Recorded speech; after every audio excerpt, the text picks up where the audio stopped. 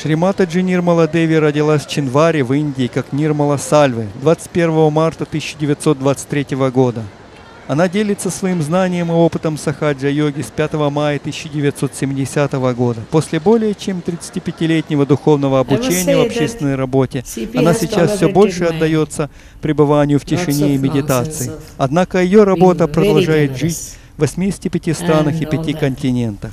Я должна сказать, что Сипи выдержал столь много неприятностей из-за меня и был так великодушен. Каким-то образом ему удалось это. Не вынес. Это было просто чудесно.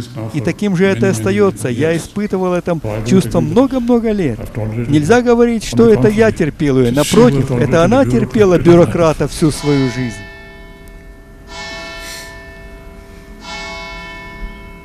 Он постоянно звонит.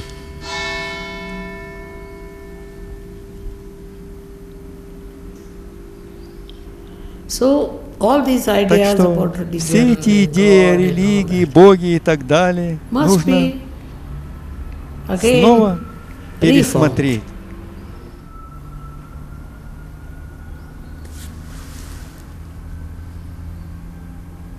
Нет необходимости стучать в колокола и тому подобное. Колокола должны быть внутри вас. Спасибо. Да благословит вас Бог.